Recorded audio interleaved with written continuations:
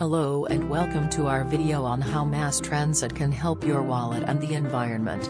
Are you tired of paying high gas prices and dealing with traffic on your daily commute? Mass transit may be the solution you're looking for. Not only can it save you money on fuel and vehicle maintenance costs, it can also help reduce your carbon footprint and contribute to a healthier environment. One of the major benefits of using mass transit is the cost savings.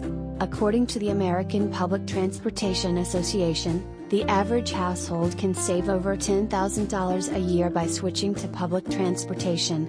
And with the current high cost of gas, the savings can be even greater.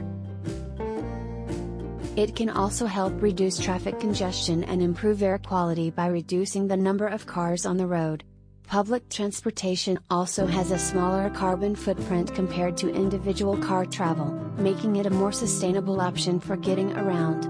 Using mass transit can also save you time. Instead of sitting in traffic, you can relax and use your commute to catch up on work, read a book, or just sit back and enjoy the ride. In addition to the personal benefits of using mass transit, it can also have positive impacts on the community.